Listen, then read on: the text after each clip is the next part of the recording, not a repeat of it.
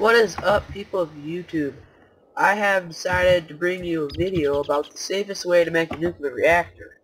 And this is for the Industrial Craft mod. Which also have Buildcraft installed, the best to install. Graphics are fast. I'm just it. I'll make it. Doesn't matter because we only need a hole. First, you must dig a hole. I suggest a very deep one, like right above bedrock. Um, and I'm to show you how to make a six-chamber one. So, just for example, I use all six chambers on mine. I really don't need not to. I mean, actually, the need not to is because you know you're playing a legit world, right? Why the WTF can I make it? Why? It's annoying. You know you're playing a legit world, right? And it's hard to build all these things legitly. Well, it's not hard. It's not cheap. Just a bit. But this is for you high rollers who want a full marks like all six things so you know it's like this big. It's probably people want one of these. I'm just gonna wire it up quick. I was pretty good about some of the problems. Why the WTF is not allowing me to put down a cable? There we go. You know, you'd probably run this a ways. Actually, if I were you, I'd only run it not that far because these cables drop power fast. And of course, you need an MSU because it's high voltage. You can make it low voltage, but normally you want to do it after the MSU. And then, uh, another thing you need, you need to put water around it. Because it helps if it does explode on you, which it shouldn't, because I ran one of these for about four hours straight without any explosion. But you never know, right? Let's get some water. I'll get the uranium cells and the coolant cells and stuff that. What is water buckets? Sometimes all, like I'm playing on the Technic pack right now, so sometimes all these mods make me annoyed because I never find anything. Let's see, what else did I need? Coolant cells. Skip last page. Da, da, da, da. Back up one. See, those are the biofuel cells. Where are the poop? Oh, here. Need a couple of these, couple of these. Now this this makes a lot of power and I don't really know what to call it. I kind of came up with this myself. It's just logic to me. I, I did some experiments and I found this to be the most power, least chance of explosion setup that I could come up with. I don't really, I have never really, like, people have a bunch of different strategies for this, but this is what I believe to work the best, and it's what I always use with a nuclear reactor. Because I've never had a problem with it, and I can run a long time without any explosions. Now, as you can see, it takes a lot of coolant cells. You're going, oh geez, you need a lot of coolant cells. Yes, but I know there's some out there that you run it for like so long, right before it's about to explode, you shut it off. I don't really like those strategies. I just like one to put stuff in it and leave it alone. And that is what this strategy is all about, being able to leave it in there by itself. Should probably show, I don't know if it shows you the recipe for the coolant cells. Like, oh yep, it does, okay. You do things, you get re-enriched, uh, uranium cell put coal dust next to it, or the empty cell with uranium, make those uranium cells. Uh, for coolant cells, yeah, it doesn't show. Integrated heat plates, um, we need coolant cell, integrated reactor plating, coolant cell, copper, advanced circuit in this copper. If you guys are wondering what this is, it's um uh, it's like a, it's part of the Technet, or I played Tekkit, not Tech. It's part of the Tekkit mod, so, you know. See, let's put these around the stuff.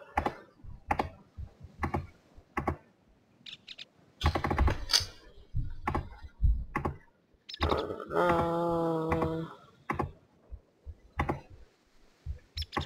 I know this is taking a while, but ah, come on. I'm kind of, I'm a little bit lazy. That's why it's taking forever. Just fill in all these spots with the integrated heating plates. You put this up there. there, that there, that there. Don't worry, we're almost done. Two more. There should be six uranium spots. One, two, three, four, five, six. Yep. And I got five uranium. Let's put the water it next though.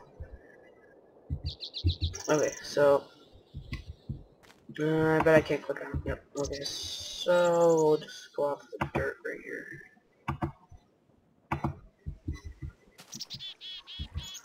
And just kind of fill, it doesn't really matter how you fill the water around it. I'm just kind of placing it all the way around. You can just place one block on top, that looks like it. I'm laying kind of bad See, I can't even get the fly to work.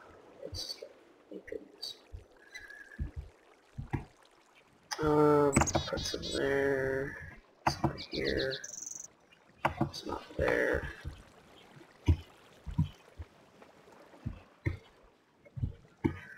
Oh, Where's some dirt blocks? Dirt.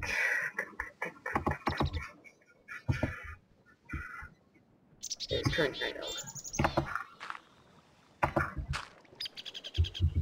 You know, you would probably build a nice fancy room to protect this. But I did not really want to do that for. I could make a better one if you guys want, but this is just showing the reactor setup.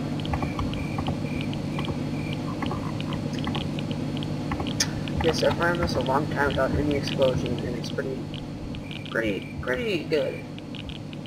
Some of you other people might have.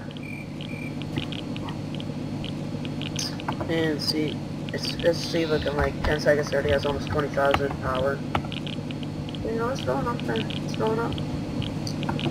Now, I'm the first person ever to use this setup, so if someone else says on YouTube that they were, that they were different, because I, can, I completely came up with this idea by myself.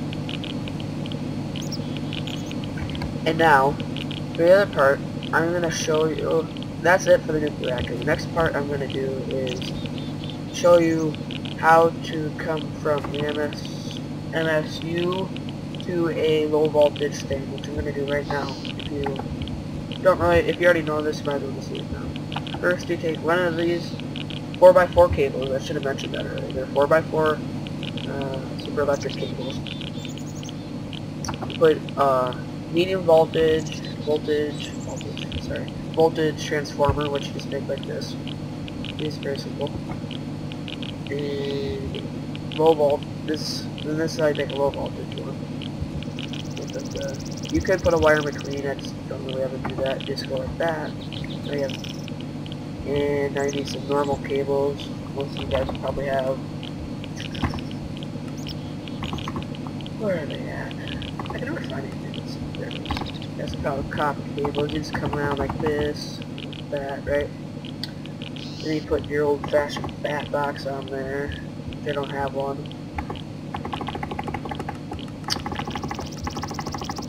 All these pages wasted on miniature plaques with red power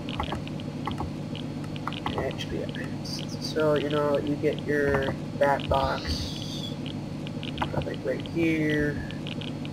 Some more cables come out of that. And let's say you got your base raider. Yeah. Base raider. It's powered up.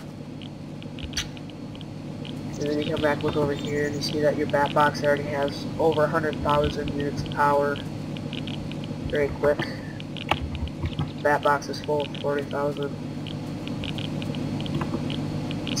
your thing's nowhere near overheating. It's all good. The coolant cells are, have no depletion on them. The uranium's pretty much full. When you run this for an hour, not even an hour. See, it's already, what is that? So it's at 150, uh, well,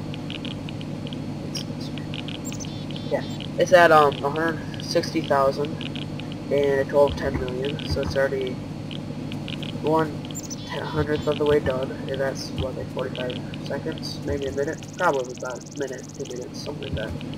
You know? And it, it's kind of an expensive setup, or it takes a lot to set it up, but it's well worth it because it has no problems.